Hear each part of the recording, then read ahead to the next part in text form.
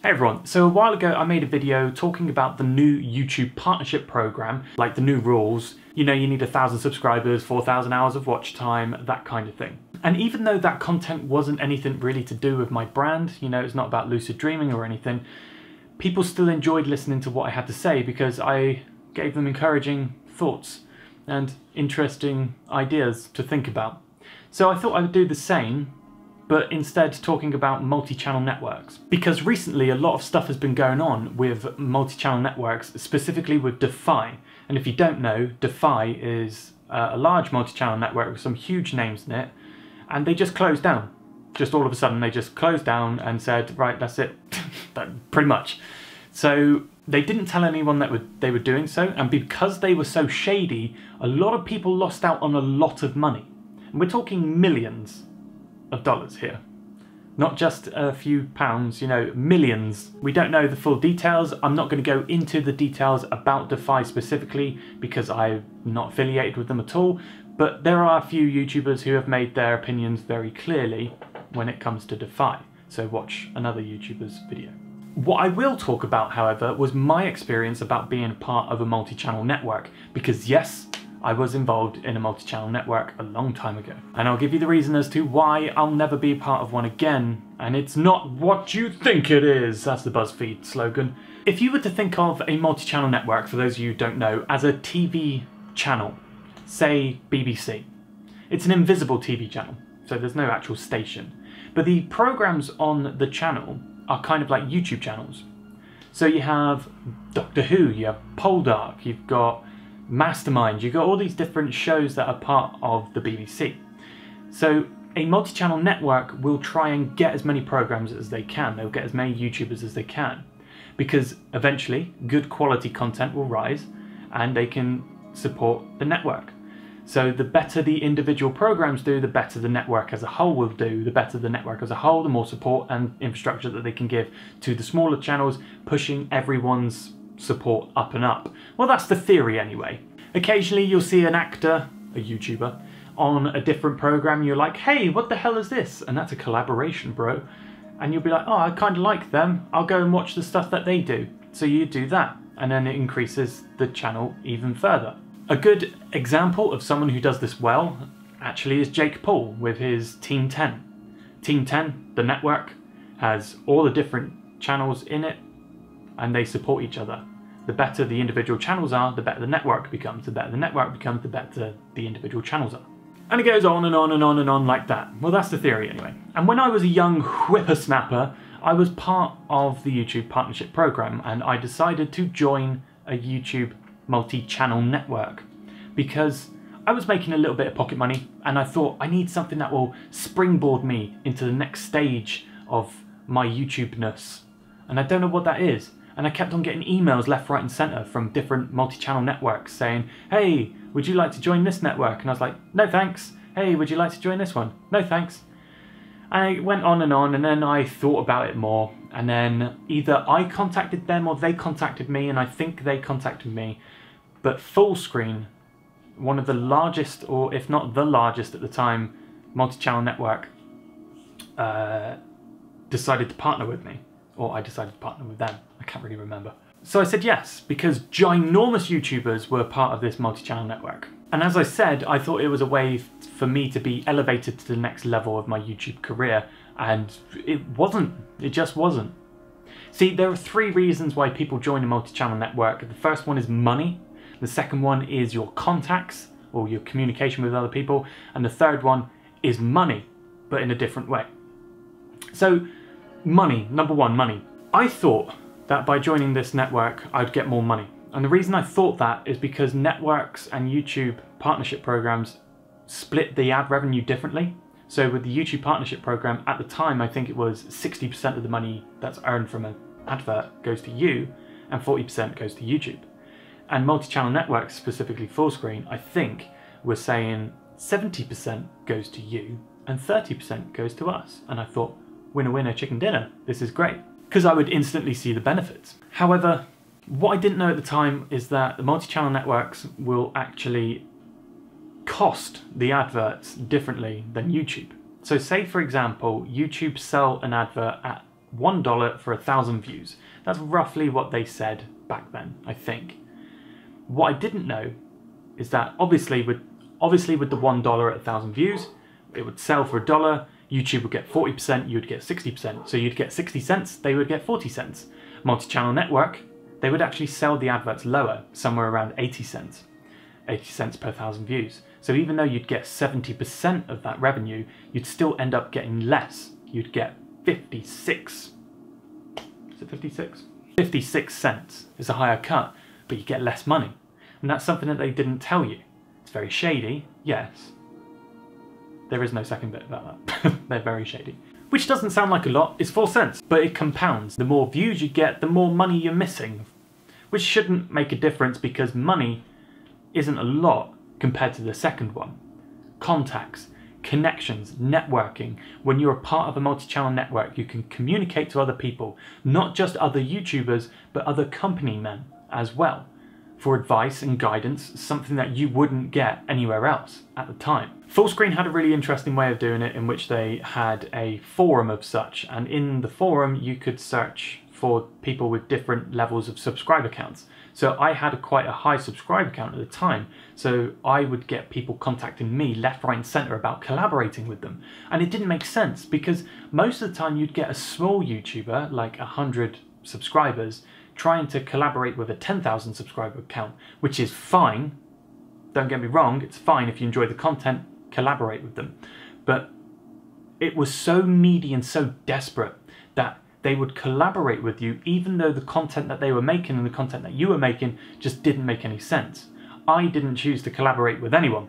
For example, it makes sense if two musicians were to collaborate. They can collaborate on a song. It doesn't they don't even need to be in the same area or country. They can just record their parts individually and upload it as a whole.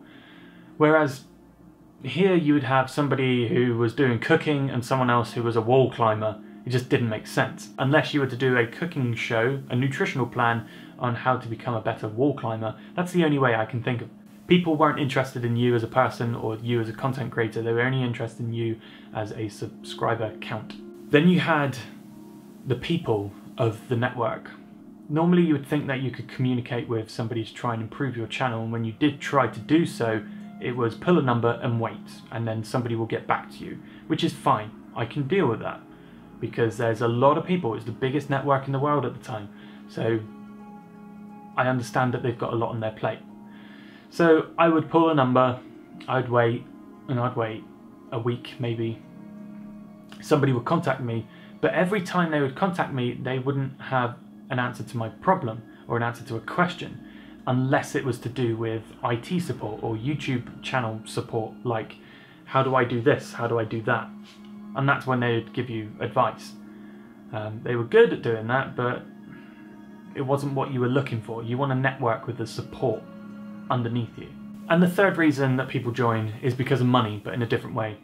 Sponsored content, getting brand deals, that kind of thing. I've always been a bit iffy with doing brand deals. Never felt comfortable with the idea of selling my opinion for money. I don't like that at all, not even a little bit which is why I don't advertise anything on this channel.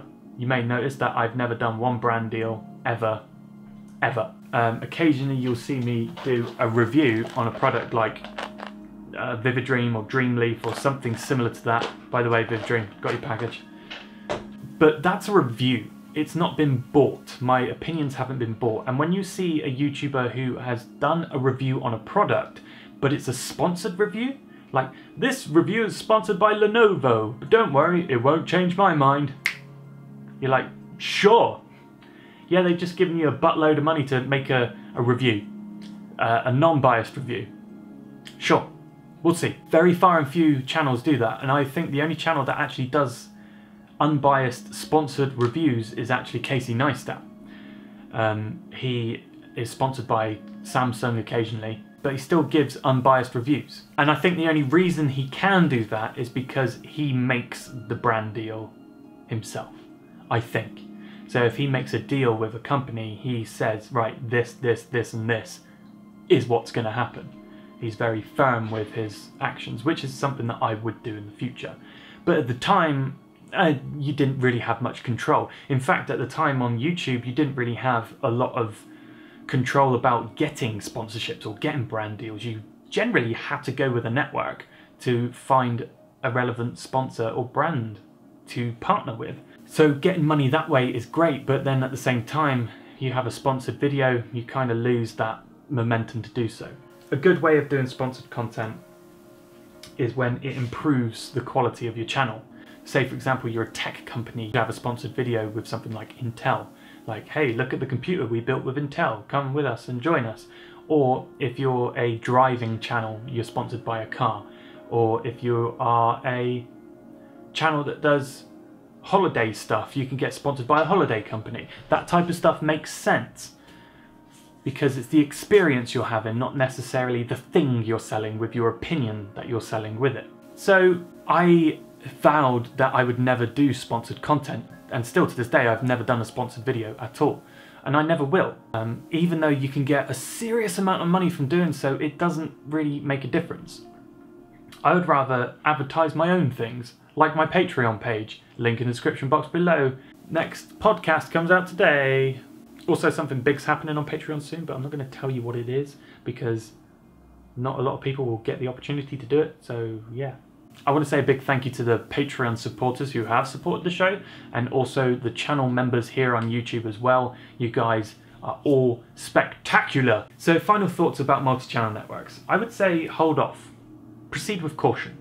Usually, the better networks are the ones that are smaller because the team is so much more equipped to be able to contact each individual member, especially if they have high standards in what they allow into their network, because then that improves the quality of the network, but also improves the perception within the network itself.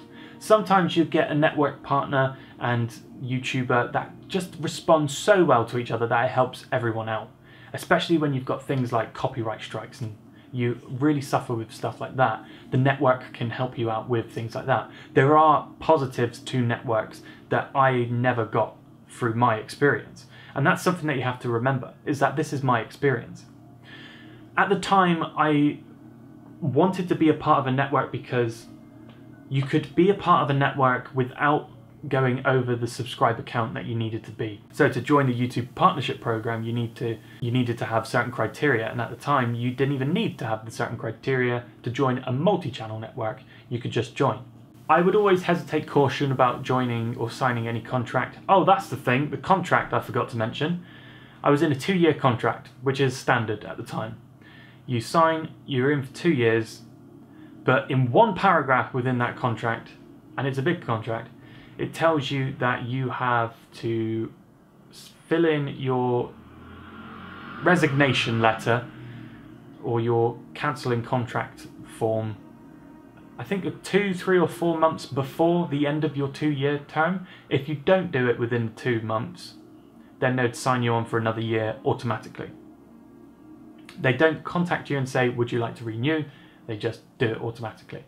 So that's why I was a bit trapped. At the time, I was a bit younger and I was a bit less organized with my actual stuff in life. so I struggled with remembering to cancel. And when I cancelled, it felt like a big weight had been lifted off my shoulders. When I cancelled and I finally got out of there, it was only a few years ago, I felt really good because it was like finally. I could imagine it's the same thing about when you have a loan and then you get rid of the loan and you just made your final payment and you're like, oh my god, that felt good. I imagine it's the same kind of thing because it was a looming threat on my channel that I didn't really have any. I had creative control, but if anything went wrong with my channel, it was my fault. The multi-channel network wasn't liable for anything that I did, even though they would reap all the rewards but never have any of the negatives on them. I thought it was quite shady. But yeah, ultimately, be very careful about when you try and join a multi-channel network. I don't think it's worth the hassle myself. I have not been within a multi-channel network since that day and probably never will unless it's a small network or I run the network myself which I did think about doing a long time ago. I wanted to make like a YouTube lucid dreaming network channel And then Team Lucid Dream kind of spawned out of that idea. But we weren't actually a multi channel network. We were a network that had multiple channels in it, if you know what I mean. so, anyway, that's my video. Sorry it was a bit of a rant. Um, as I said earlier in the video, if you're a Patreon supporter, then you get your podcast comes out later on today. Also, a channel announcement. Don't forget this Friday, Friday the 15th of November at 6 p.m. UK time. I forget what time that is everywhere else. We're doing a live stream here on the channel. Be a part of it. So, until next time, bye!